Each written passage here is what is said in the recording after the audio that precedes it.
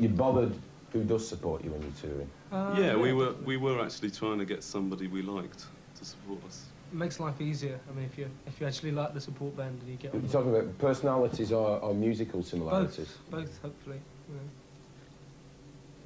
Do you socialise much with the support group when you're on tour? We haven't done uh, this tour so much. We, uh, I mean, it's been different every tour. On the first tour we ever did, uh, the support band we took on along with us didn't have a record contract. Right. They didn't have much money, so we put up money um, for them, and we did a lot of socialising Mm. because we actually wanted them to support us. What happened is, because of the money element, we actually got in debt.